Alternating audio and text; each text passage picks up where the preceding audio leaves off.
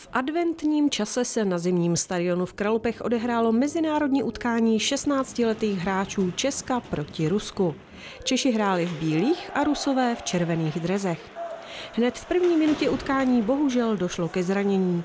Český hráč Buchtela s číslem 4 skončil v nemocnici. Rusové vyrukovali na český tým s forcheckingem, kterým bránili založení útoku a kombinačním akcím. Oba týmy hráli tvrdě do těla, což občas končilo faulem. Při jedné ruské přesilovce se trefil Kazmanov s číslem 5 do české brány. Rusko vedlo 1-0. Český tým si vypracoval několik nadějných šancí, ale Rajko v bránce soupeře je zneškodnil. Faulu přibývalo, při přesilovce 5 na 3 se domácím hráčům podařilo vyrovnat. Úspěšným střelcem byl Hrabík s 28. Ve druhé třetině se způsob hry nezměnil. Vypracované šance oba brankaři za pomoci obrany likvidovali. Oba soupeři výborně bruslili a hráli dobře technicky. Při jedné akci Rusů ukázal svoji technickou dovednost Koltigin se 27. Střelil druhý ruský gol po asistenci Alexejeva a Samorukova. Rusko se dostalo do vedení 2-1.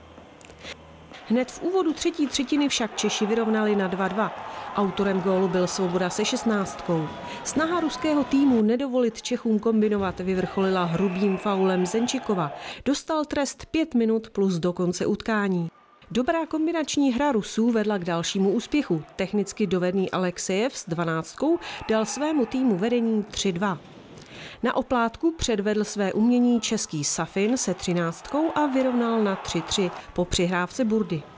Při nerozhodném výsledku se zápas prodlužoval o pět minut, ani to však nepřineslo rozuzlení. Následovaly tedy nájezdy. Po rozhodujícím nájezdu českého hráče Nečase s ostnáctkou Češi zvítězili 2-0. Na konci utkání byli vyhlášeni nejlepší hráči.